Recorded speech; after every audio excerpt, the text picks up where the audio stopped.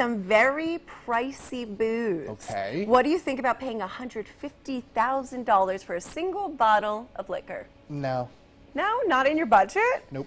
Okay, look at this. This is a 1762 vintage cognac sold for $146,000 at an online auction yesterday. The winning bidder will be treated to a custom experience at the Maison Gautier distillery in France, founded in Oh. 1755. Sotheby's auction house says the exceedingly rare Gautier cognac is one of the oldest surviving cognacs in the world, and only three bottles of it are left.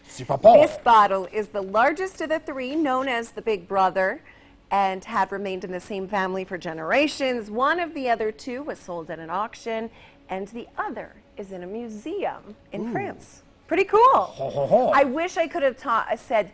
I wish I could have told the whole story papa, with the cute the French C'est accents. pas pressé bus for Omelette de fromage.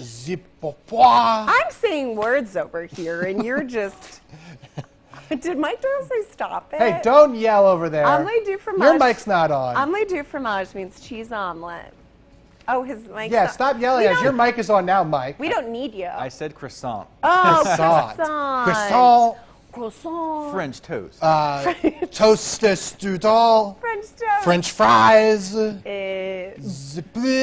Bonjour, comment ça va? I don't know. Baguette. Uh, at this point, can't you get like a bucket of vodka for like five bucks? So why would you need a hundred forty-six thousand dollar cognac? That's my two cents, I'm folks. sorry, Boom, but a bucket book of it. vodka? How would you know what I'm doing tonight? That sounds like a great weekend plan.